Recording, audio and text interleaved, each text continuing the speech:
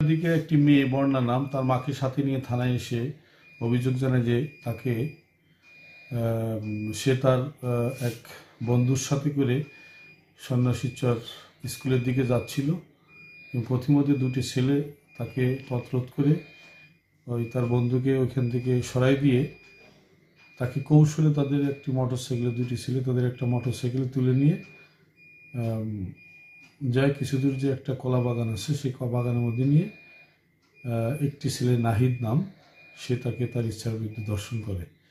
এরকম একটা অভিযোগের প্রেক্ষিতে আমি তাৎক্ষণিকভাবে আমি জরু- জরুরি অফিসার ফোর্স প্রেরণ করি এবং উক্ত নাহিদকে ইতিমধ্যে আমরা গ্রেপ্তার করতে সক্ষম হই। এই ঘটনার প্রেক্ষিতে ভিকটিম বর্ণার বড় ভাই বাদীহে একটি লিখিত এজাহার দায়ের করেছে। আমরা তার লিখিত এজাহারের প্রেক্ষিতে একটি নিয়মিত মামলা রুজু করেছি। আমরা মূল ধর্ষককে মামলা রুজু করার তিন ঘণ্টার মধ্যে গ্রেপ্তার করতে সক্ষম হই।